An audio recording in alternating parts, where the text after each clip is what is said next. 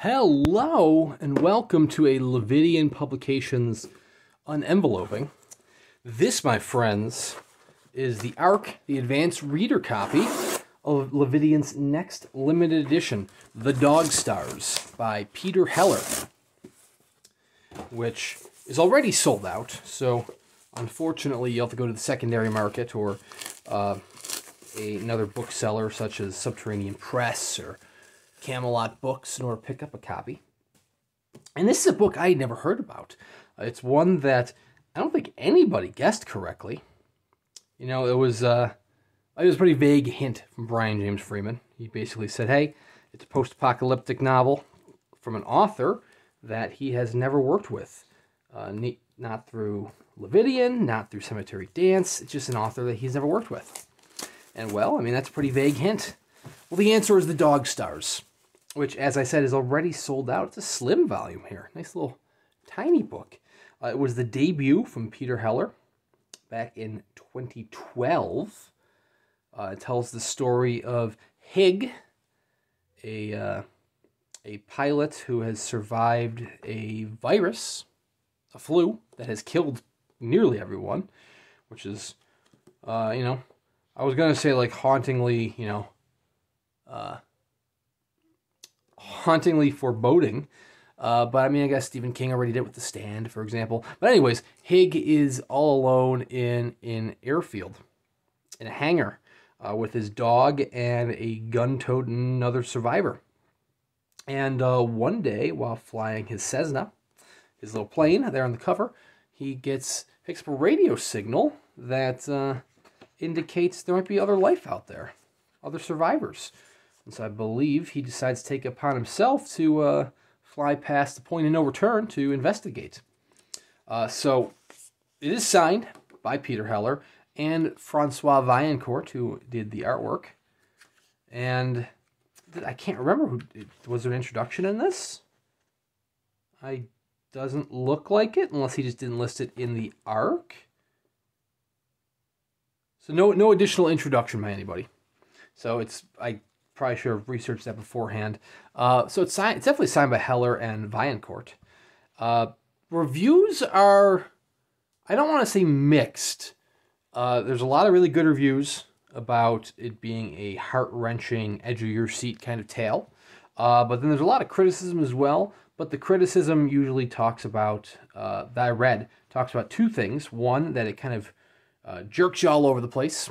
There's one of uh, Francois' uh, gorgeous pieces of artwork, which I'm guessing, like the other limited editions uh, that Lividian has done, will be black and white within the novel itself for the limited edition, but in color for the lettered edition. Uh, Francois does his artwork in color and then converts it transfers it to black and white. Anyways, uh, the criticisms I've seen is that once it jerks, one, it jerks you around all over the place, and two, uh, there's no punctuation in terms of quotation marks. But you know what that means to me? That just sounds like Cormac McCarthy, and I like Cormac McCarthy, so I don't mind that style. Another piece of Francois' artwork. A boy and his dog. He's not a boy, he's a man. That was a Harlan Ellison reference. Um, oh, whoa, whoa. Was that another, oh, book two. I was going to say, was that piece of artwork already? So we've got several pieces of artwork throughout. And these aren't spoilers because these are posted online. So there's him hunting, presumably. I don't know if it's Hig hunting or the gun-toting friend. There is